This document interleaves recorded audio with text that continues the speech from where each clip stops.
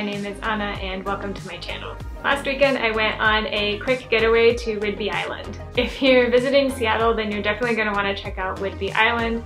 It's close enough to the city that you can make it into a day trip or you can do what I did this past weekend and stay there for the whole weekend. The island has a lot of really cute, quaint towns like Langley and Coupeville and there's really beautiful mountain views and views of the water. The Mukilteo Ferry is about 45 minutes from downtown Seattle and it's a pretty easy drive. If you're visiting Seattle, I definitely recommend that you take one of the ferries. You can also take the Bainbridge Ferry which picks you up downtown and it's a bit easier if you don't have a car and that takes you to Bainbridge, another island, which is also a cool place to spend the day.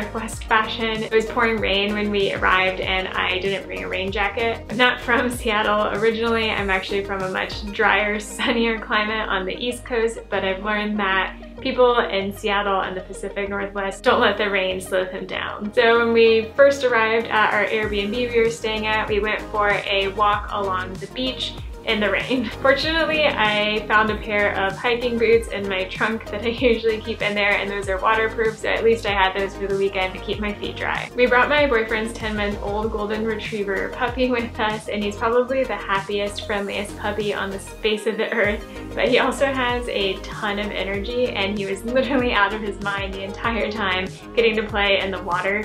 Our Airbnb opened up to the sea and beachfront in the back and so he spent the entire weekend running and playing fetch in the water and it was so much fun and so cute to watch and I think that was probably my favorite part of the whole thing.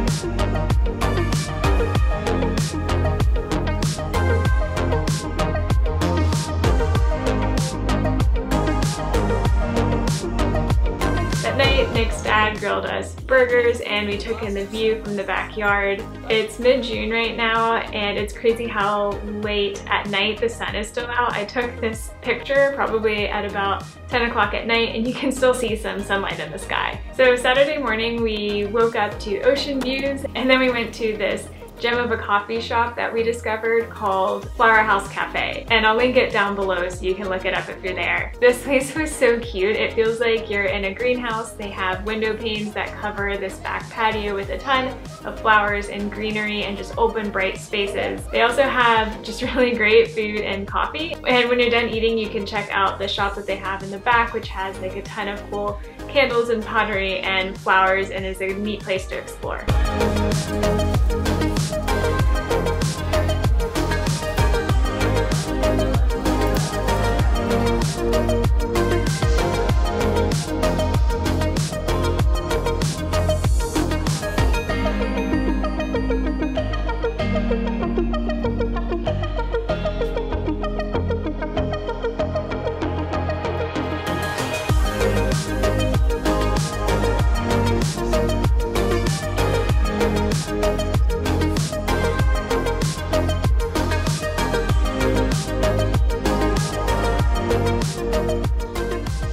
After that, we went for another walk along the beach, and then we went to go check out Fort Casey.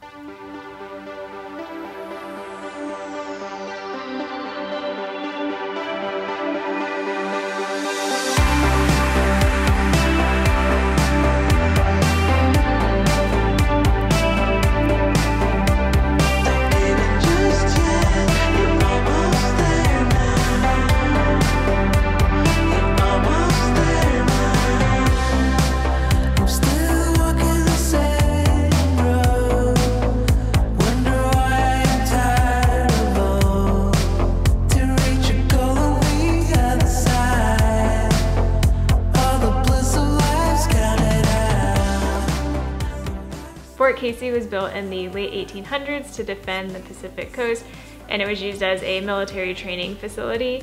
And now it's a historical state park, which you can go to and walk around and explore the old building and then take in the waterfront views that are just over the cliff on the other side of the building. This is definitely another must-see if you're on the island. Even if you're not a big history buff, you can still enjoy the views and get a nice walk in.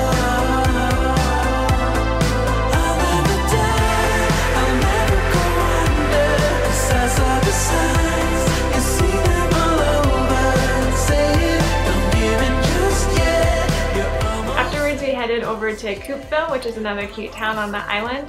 We got a drink there at this cute wine and beer shop that overlooked the wharf.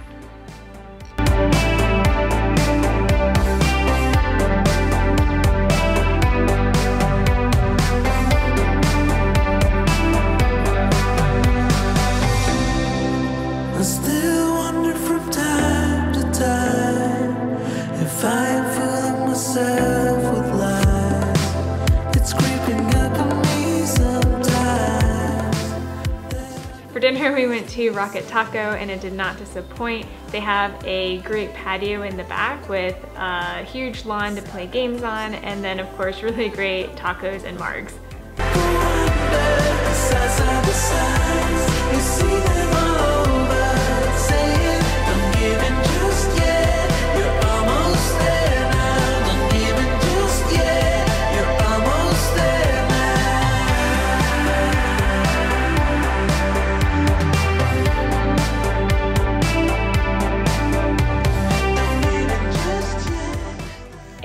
Morning we woke up and went to Flower House Cafe again with Nick's parents. I told you we thought it was really great.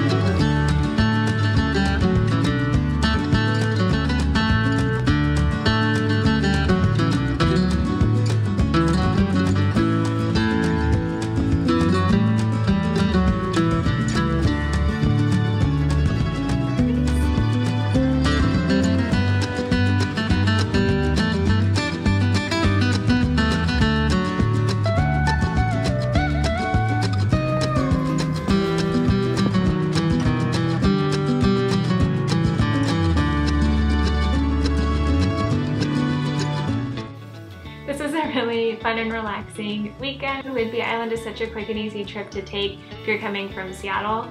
I definitely recommend that you check it out if you want to get away for a weekend or even just a day if that's all you have time for.